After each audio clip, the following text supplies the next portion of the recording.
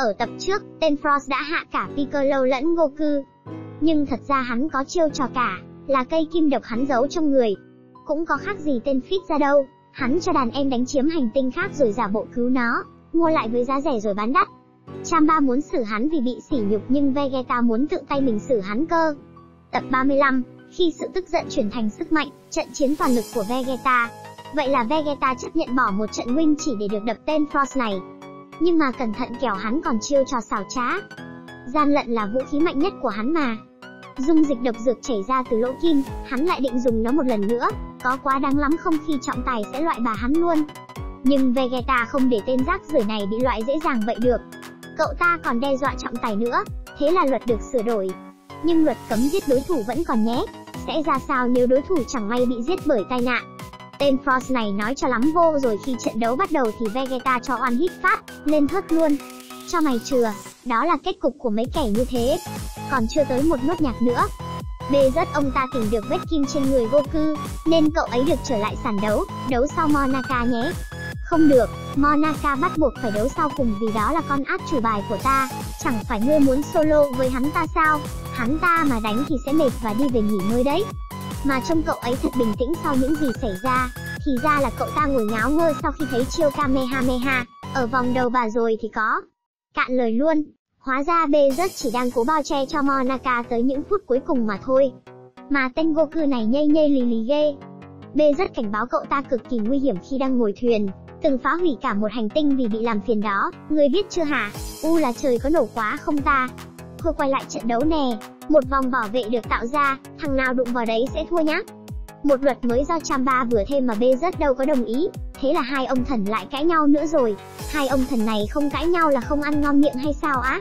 Quản tù tí đi ai thắng người đấy có quyền. Tên Frost tranh thủ thời cơ lén bỏ đi nhưng bị Vadot thấy.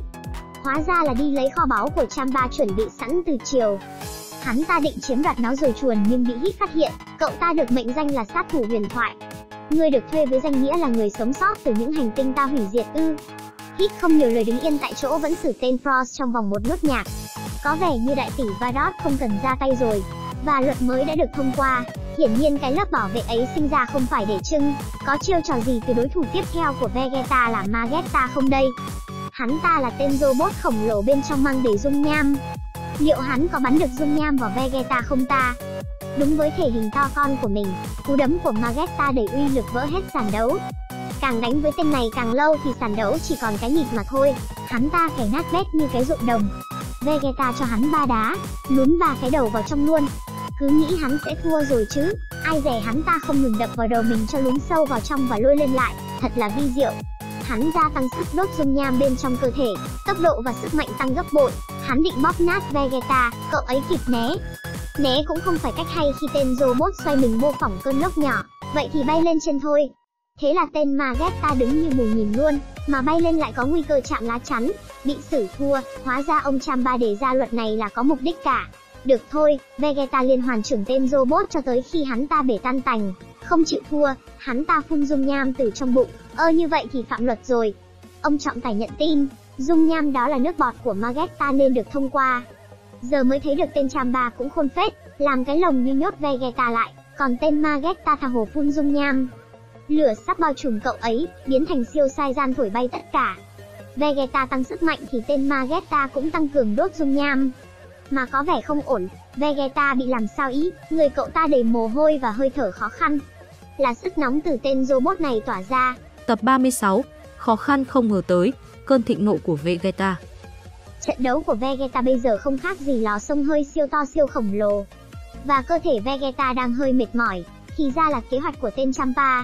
Hắn ta kiểu lạm quyền, tao tạo ra sản đấu tao có quyền, quá đáng lắm luôn. Vegeta cứ bay ở trên như này không ổn mất, càng lên cao không khí càng loãng đã vậy sức nóng từ tên Magetta còn tỏa lên nữa. B rất phàn nàn nhưng có ít gì đâu, ông Champa bảo ta có làm để không khí thông hơi mà. Có lẽ do sức mạnh lửa của Magetta khiến không khí không được lưu thông chứ có phải lỗi của ta đâu. Người đã chấp nhận luật mới rồi còn gì. B rất tức lắm, phải tôi tôi đấm cho mấy nhát. Phải nhanh chóng kết thúc trận đấu này càng sớm càng tốt, càng lâu dài càng bất lợi. Tên Magetta ỉ mình là robot, không ngừng phun lửa về phía Vegeta, cậu ấy đáp trả thì bị làn hơi nóng phóng ra. Rồi Magetta phun dung nham tạo thành vụ nổ mạnh, hòng đẩy Vegeta chạm lá chắn nhưng không thành. Hóa ra đó là đòn kết hợp, hắn đốt hơi rắm nên mới tạo thành vụ nổ. Ui trời, quá dơ quá bá đạo. Mà tên này khó chịu gây áp sát đã khó, mà dù có đánh trúng hắn thì cũng có gây sát thương gì cơ thể sắt thép đó đâu. Vegeta rơi vào thế khó khăn, mưa dầm thấm lâu sẽ bại mất. Cậu ấy thủ thế xuất tuyệt chiêu của mình, không ngừng tăng ki. Tên Magetta cũng tăng sức nóng lên gấp bội.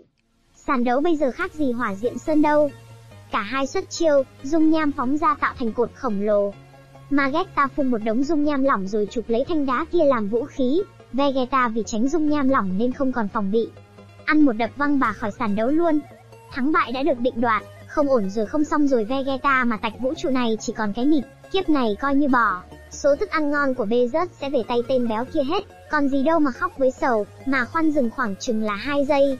Ông trọng tài bay tới quan sát rồi tuyên bố Vegeta vẫn chưa bị loại vì cậu ta đang đứng trên mảnh vỡ của sàn đấu. Mé tức ghê tên ngu đần nào ra cái luật này vậy, còn ai trồng khoai đất này? Vì được cứu nguy bởi cái luật nhảm nhí này nên Vegeta cảm thấy tức điên người. Tính nóng như kem, cậu ta giận dữ gồng năng lượng, cho chúng mày biết thế nào là sức mạnh của người sai gian, thế nào là lễ hội, phá tan thành lớp bảo vệ. Mảnh kính văng tùm lum, Monaka bình thản ngồi yên mà vẫn không hề hấn gì, khiến Goku bất ngờ luôn, tôi là tôi nghĩ ăn hên đó. Một khi thông thoáng trở lại, Vegeta dùng tới tuyệt kỹ của mình Final Flash, một chiêu mạnh nhất nhì của cậu ta, sức công phá khỏi phải bàn, một khi cậu ta dùng đến nó, kẻ thù chỉ có nước lên bàn thờ ngắm gà thỏa thân mà thôi. Sấm chớp phóng như điện xẹt, lan tỏa ra khắp hành tinh này luôn. Tên Magetta cũng phun toàn bộ dung nham đáp trả, mà tuổi gì? Đòn của Vegeta thổi bay hắn ta, dù cố gắng chống đỡ nhưng hắn lại bị đẩy lùi về phía sau.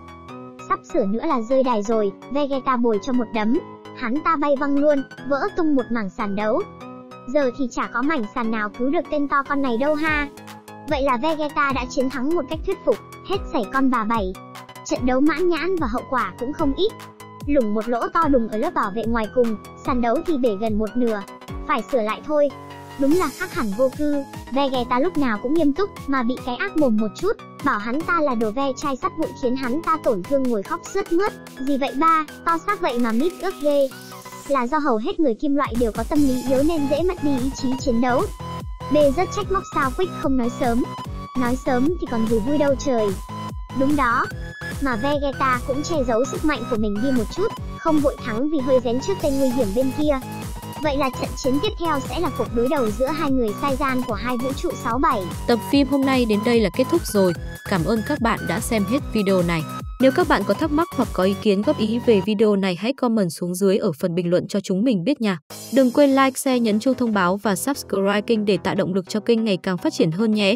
Xin chào và hẹn gặp lại các bạn.